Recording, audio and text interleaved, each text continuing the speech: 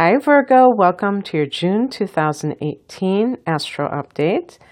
It's Raina here. And so in June, there are two houses that are seeing a lot of activity. The 10th house, which is the house of career. And for you, this is in the sign of Gemini.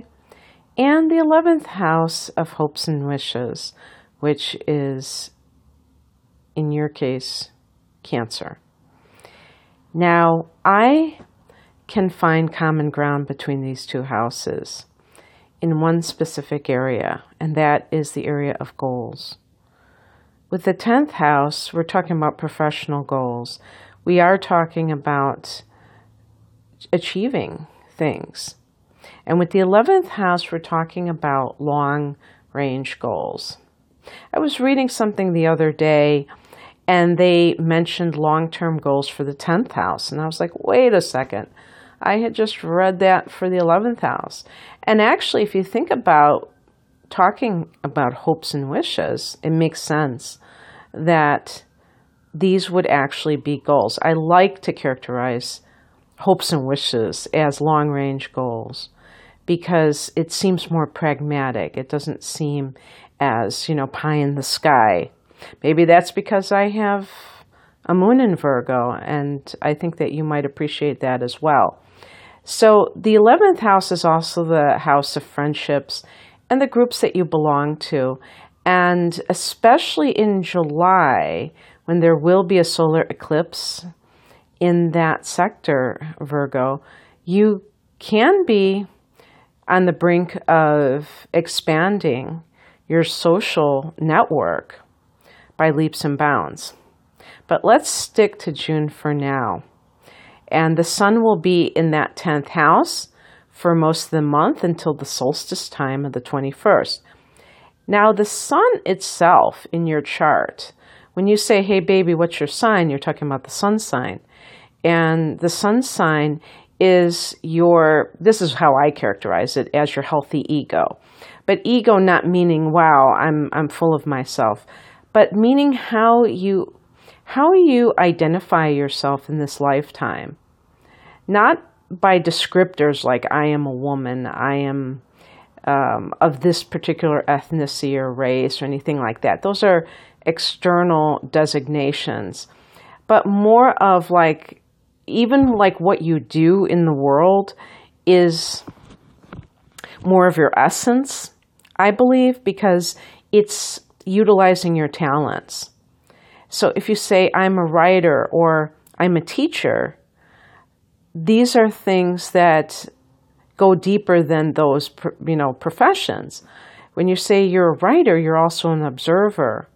You're also uh, you might be like um, very well. You have to be very creative to be a writer. And um, well, I guess if you're a journalist, it's a little bit different type of writing. But you have to be intellectually curious. So it says more than just like kind of surface things. Um, these are qualities that you possess that you may have possessed for many lifetimes. And it makes up your core self.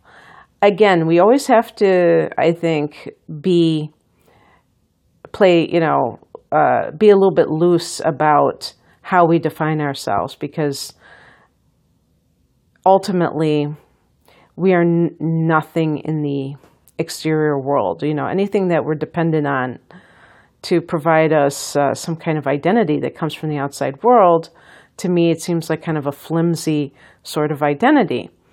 But the sun is a lot of how we relate to ourselves. And with the sun in your 10th house, you really are embodying that career person that you associate with Capricorn, who rules that house. And that makes you more ambitious in general. Mercury is also in this sector until the 12th of the month. So, Mercury means that your mental energy is being um, expended in the area of what it is that you do in the in the in the world, how other people see you, and you may be talking, you know, Mercury is communication with employers if that's something that you are in the process of doing, getting a job. There just may be a lot of mental energy regarding your career for whatever reason. And then Mercury goes into the 11th house on the 12th. And so then your mind is on other things. And I when I, when I talk about long range goals, by the way, it doesn't necessarily mean that they will be career related because your life certainly is not just based on whatever it is that you do, hopefully. Um, most people have more than one passion. And so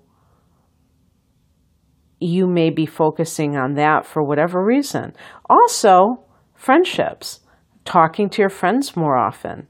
That was another thing that I got from this is that I feel that towards the end of the month, you're going to be a lot more social. And while it's possible that this is career related and you're networking for some reason, it's also possible that you're coming out of hibernation in some for some reason where you know the typical Virgo person we think of the hermit in the major arcana of the tarot that is connected to Virgo because Virgos are very comfortable being alone. And you're going to be a, le- a lot less interested in doing that as the month progresses. On the 13th, Venus, which has been in your 11th house, so Venus has been in that social sector, then Venus goes into the 12th house in Leo. So Venus can bring money, love, to a person's life. In the 11th house, you can gain through networking, and that's why I, I mentioned the connection to the 10th house. Whether it's through soliciting work through your social circle or just um, reaching out to different groups to get the word out, that can be financially advantageous but falling in love or feeling that romantic connection with somebody. Perhaps that comes from somebody that you meet through a group of friends.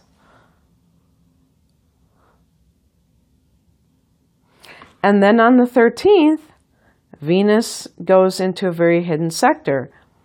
And Venus in the 12th house can be quite secretive with love for whatever reason. You know, the typical place my mind goes is saying that there is some kind of extramarital thing going on. But that's not necessarily the case. Sometimes people don't want to come out public with their romance right away. They want to be able to, to nurture it without, you know, the input of the people that they know. You may meet somebody through your friends and they may be like, "Oh, what are you what are you guys doing?" Are you and you don't want to tell them. You don't want them to know that you're actually dating. You might be introduced by them, but then you start dating secretly. It could be a case of one or both parties are um, already involved with others and they are doing something on the down low.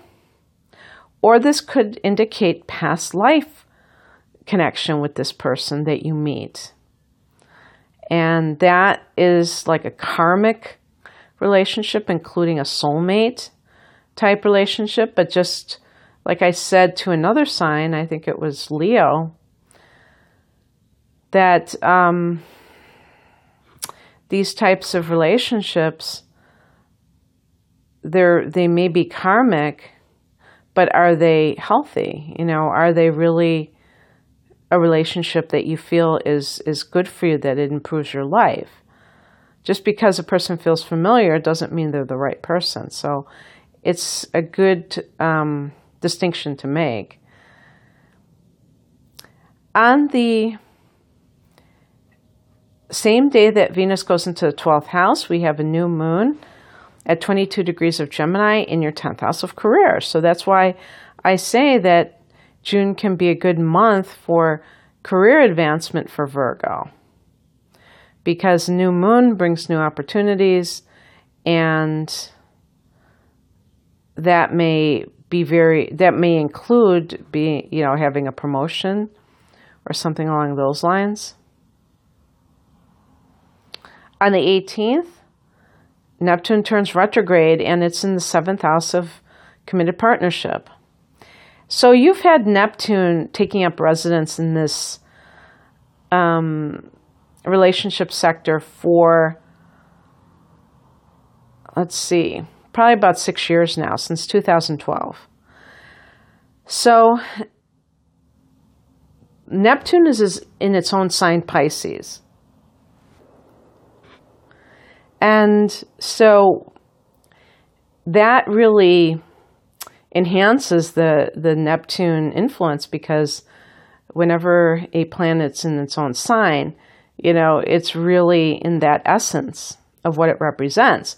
Well, with Neptune, we're talking about fantasy. We're talking about um, the spiritual, not the tangible. We're talking about sometimes confusion, sometimes deception. And the fact that it's in your seventh house could have been quite challenging for some Virgo people. If you got married during this time, you may have discovered that your partner isn't who you thought he or she was. And actually, when Neptune goes retrograde on the 18th, this could pull back the curtain and reveal this in quite painful detail. That something may present itself to you that makes you realize that this person was other than you thought that he or she was. And while that may seem like a terrible thing to happen, why would anybody want to be operating under an illusion in the first place? So it actually is still working on your behalf if you um, did get involved with somebody under false pretenses and they created the false pretenses. Now, uh, this can just be a time where you're not operating under delusion involving your partner.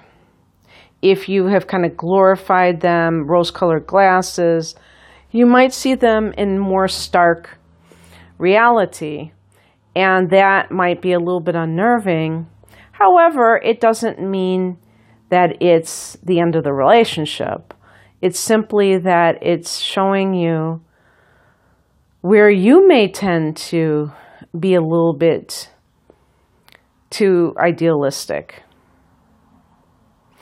And um, I always feel like the complementary signs, which are the the signs that oppose one another. And of course, for you, that's Pisces, that they share certain things in common. And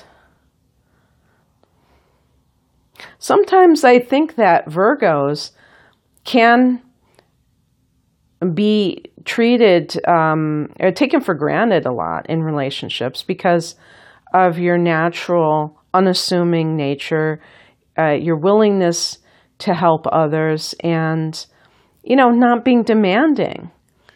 I'm not saying Virgo people are perfect. You might nag uh, your partner to insan- a point of insanity uh, if you're not careful. But in terms of being somebody who is very accommodating and just um, an asset to the other person, I think that that is certainly true. And it's unfortunate whenever a person like you has to deal with a relationship that is pretty one sided because you are like a good partner overall. And another person may take advantage of that. So there's that. And then again, the solstice happening on the 21st in that 11th house, you become much more of a like an honorary aquarian aquarian for a month where you are just um, very social very interested in people from different walks of life. Maybe you are exploring things of that nature for, for whatever reason like even in your local area going to going to different ethnic enclaves and going to uh, discussions, political discussions, uh, joining groups that are have causes attached to them. Who knows?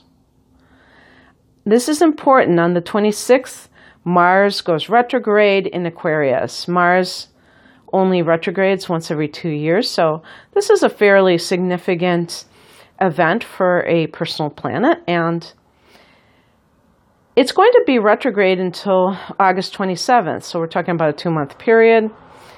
And it starts out in your sixth house of health. So Mars retrograding can slow things down. It's also the house of work. So if you are somebody who works for another person and they have orders, you may see that the work slows down. Of course, this is during the summertime, so it may be connected to the time of year. I'm, I'm talking about the northern hemisphere, I guess.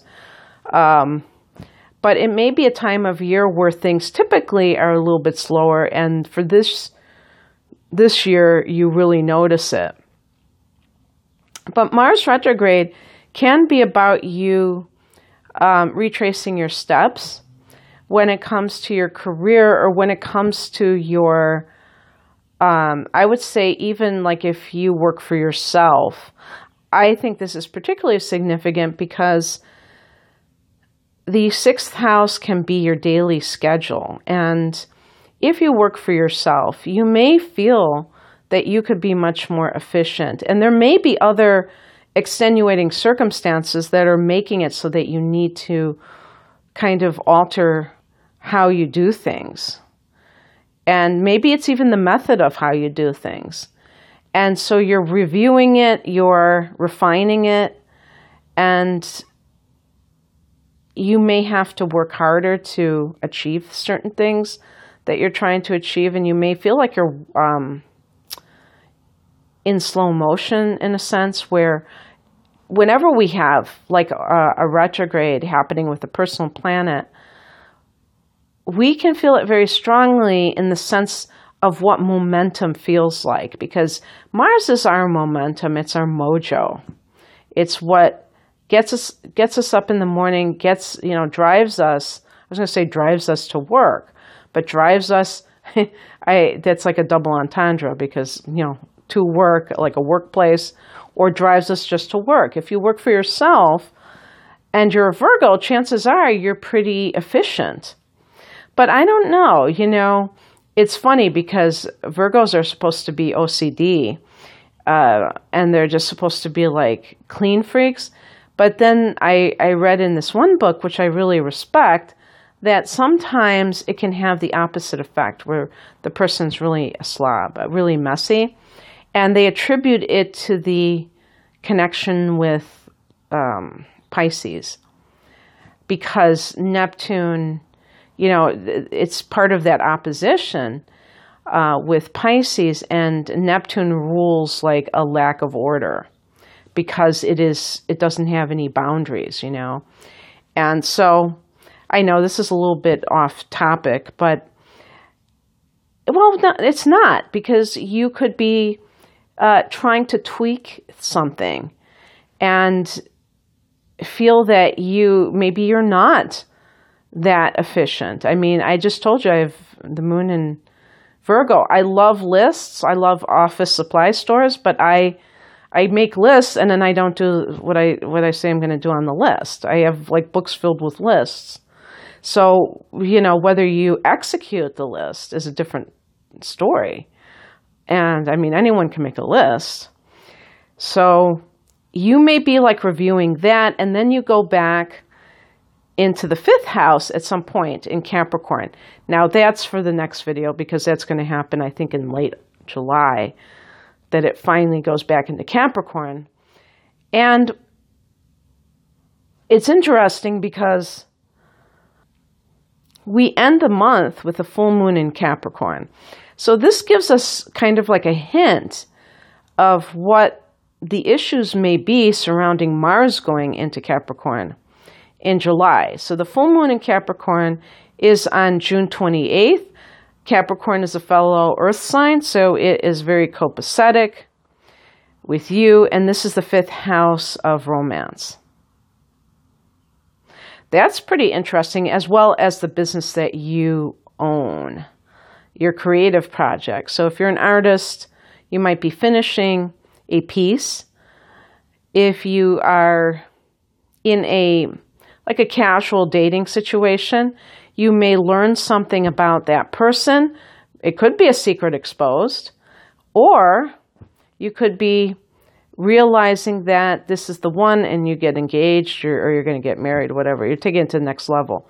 Now, I wanted to say that I thought this was interesting given the fact that I mentioned Venus going into, into the 12th house on the 13th.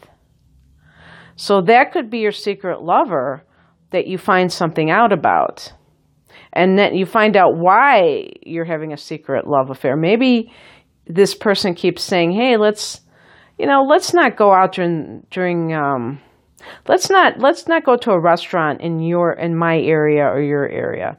Let's drive like an hour away to go out to dinner. And you you keep saying to yourself, why is why doesn't he want to go out to dinner close by? Why is he afraid of doing that?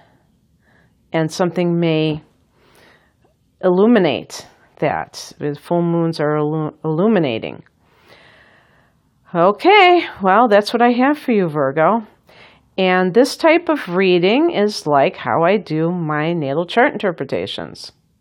And I really enjoy doing those because I like to analyze. And that's um, what part of the reading involves is looking at your natal chart, looking at where are these planets in, in what houses? You know, do you have a lot of energy in one area? Because that can point to really being obsessed with one particular area of life. And then I'm also talking about your astrological trends for the coming year. So both of those things um, are combined in one reading. And I'm going to link that reading below as well as my site in general. And I wish you the best in June. Bye.